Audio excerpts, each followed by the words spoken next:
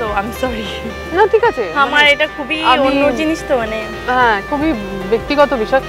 আর সেই অসম্মানটা পুরো দুনিয়া না সেটা আমিই তাকে করব। কারণ সেটা সেটা ডিজার্ভ করে। এক সাক্ষাৎকারে পরিমণি শরীফুল রাজকে উদ্দেশ্য করে বলেন যে আমার ছেলেকে ওন করে না সে কেন নিজেকে বাবা দাবি করে? এসব মিথ্যা ভালোবাসা আমি চাই না। এই মানুষকে আমি কখনোই ছাড় দেব না।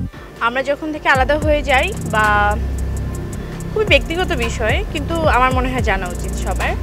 কারণ এই ফেক করোনা নিয়ে কেউ বেঁচে থাকুক, সেটা আমার বাচ্চা যে যে বাচ্চাকে আমি ওন করি।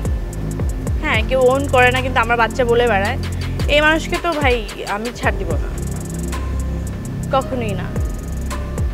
যারা মায়েরা আছেন, যারা গর্বে ধারণ করেন বাচ্চারা, তারা নিশ্চয়ই এই ফিলিংসটা বুঝতে পারবে যে আমি কোন জায়গা থেকে কথাগুলো বলছি। শরীফুল রাজের নামই আমি উচ্চারণ করতে চাই না, বললেন পরিমণি। এই নামের সাথে আমার কোনো ইমোশন নেই, তার সাথে আমার রাগ, ক্ষোভ, অভিমান ছাড়া আর কিছুই নেই। ভালোবাসার সম্মান তো অনেক দূরের ব্যাপার। ওর সম্পর্কে ওই নামটাই এখানে উচ্চারণ করা দরকার নেই। কি হয় জানো? এই নামের সাথে আমার কোনো ইমোশন আসলে এই মুহূর্তে নেই। শুধু রাগ, ক্ষোভ, অভিমান ছাড়া কোনো কিছুই নেই।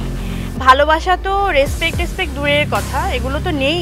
কিন্তু যতটুকু অসম্মান সে আসলে ডিজার্ভ করে সেটুকু থেকে আমি তাকে বাঁচাতেও পারব না।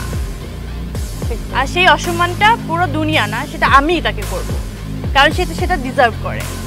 সো আই সরি না ঠিক আছে। আমার এটা খুবই অন্য জিনিস তো মানে হ্যাঁ খুবই ব্যক্তিগত বিষয়।